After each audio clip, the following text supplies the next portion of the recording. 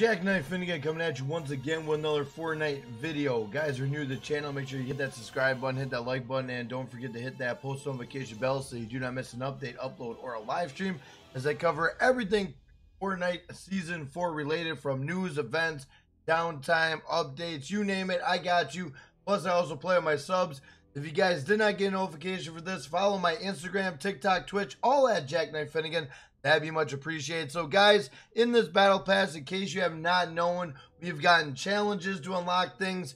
We've gotten other things to unlock things. Very cool, very awesome. If you have not checked out my video, I did uh, one on Thor, I did one on Jennifer Walters, and now we are doing one on the Sapling Groot Awakening challenges. So, if you do not know what the Sapling Groot Awakening challenges are, this will get you the Groot back bling.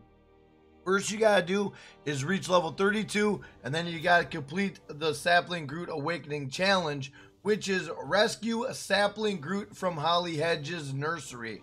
So let's get to that location.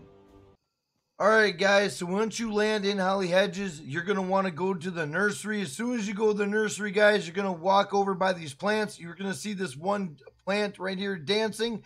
That is Baby Groot, so you're going to want to go and rescue him. As soon as you rescue him, he becomes your back bling, and you can carry him wherever you want at that point. So there you go, guys. Remember, like I told you, it is right in between these plants over here. It's kind of dark to see, so you do want to pay attention because that is where he is and then you will unlock the Groot back bling. If you guys like this video, please leave a like. If you're new to the channel, hit that subscribe button and don't forget to hit that post notification bell so you do not miss an update, upload, or a live stream. That being said, I hope you guys have a good day. I'm out of here. Peace.